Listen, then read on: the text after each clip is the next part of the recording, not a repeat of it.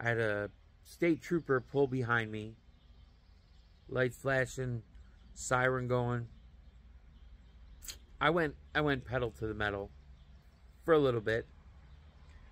Finally I pulled over and he asked me, "Did you not see my lights?" And I'm like, "Yeah, I did." And he's like, "Did you not hear my sirens?" I'm like, "Yeah, I did." And he said, "Well, why didn't you pull over right away?" And I said, 10 years ago, my wife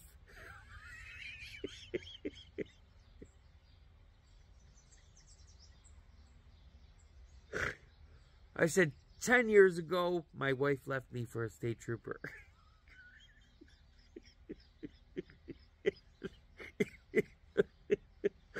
and, and I can't, I can't help it, but I was afraid it was him, that state trooper. bringing her back.